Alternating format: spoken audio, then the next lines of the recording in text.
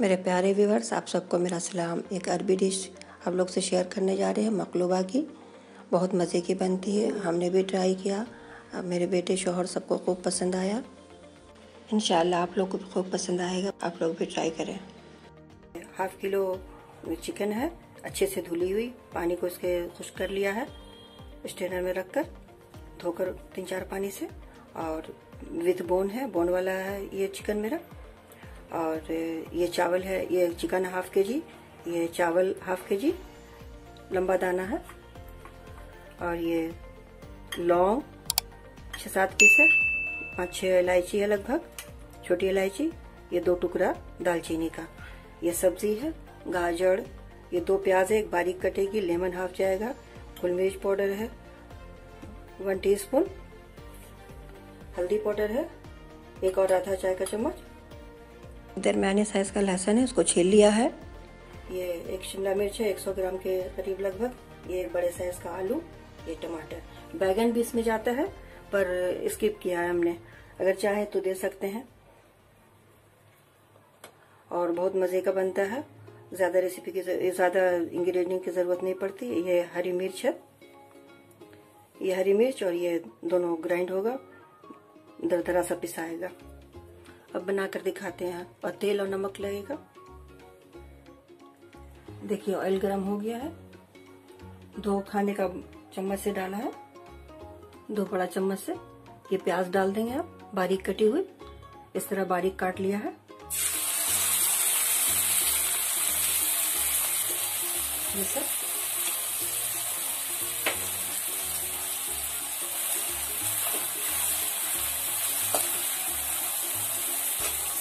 पाँच लौंग डाला है, पूरा लौंग डाला नहीं, हटा दिया तीन लौंग। ज़्यादा लौंग भी खाने में अच्छा नहीं होता, मज़ा खराब कर देता खाने का। इसको हल्का गुलाबी होने तक इसको पकाएँगे। देखिए, प्याज पक गई है पूरी, प्याज का कलर चेंज हो गया है।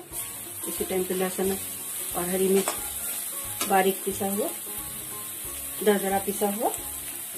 बस एक मिनट के लिए चला रहे हैं इसको। अब इसी में चिकन डाल देंगे।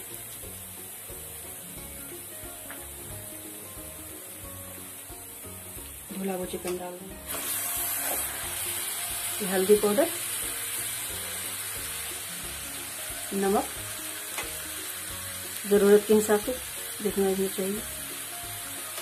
बस कलर चेंज होने तक इसको पकाएँगे उसके बाद पानी देकर ढक देंगे। देखिए पानी डाल दे रहे हैं। जिस बर्तन में लहसुन ग्राइंड किया था उसी बर्तन से पानी धो कर डाल दे रहे हैं। लगभग दो कप पानी इसमें डाल रहे हैं। पाँच सात मिनट के लिए कवर करके इसको बनाएँगे। उसके बाद दिखाते हैं आपको सब्ज़ी वगैरह फ्राई करके। कवर कर देंगे अभी फुल फ्लेम पे रखेंगे, फिर मीडियम और लो के बीच में रखेंगे। थोड़ा गल जाए वो, कुक हो जाए चिकन अच्छे से। काटा हुआ आलू। गाजर को भी फ्राई कर ले रहे हैं। सबको करके दिखाते हैं। देखिए भी हो गया। अब इतना ही कुक करना है, इसको और नहीं करना है।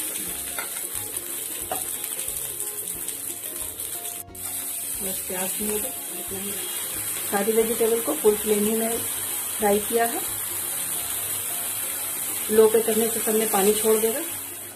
ये लेमन हाफ़ लेमन है लेमन जूस और ये गोल मिर्च पाउडर है।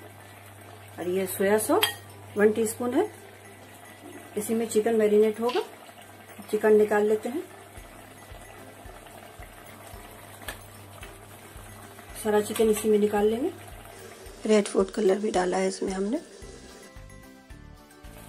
अब इसमें पानी डाल देंगे। खुला हुआ चावल होता है आधा किलो तो आधा किलो से आधा किलो से थोड़ा ज़्यादा पानी लगता है। पानी में खूब अच्छे से उबाल आ गया है तब चावल डाला है। देखिए एक बार उबाल आने तक इसको फुल फ्लेम पर किया है उसके बाद अब इसको लो पकड़ देंगे। लगभग आधा ये चावल पक चुका है थोड़ा और पकेगा।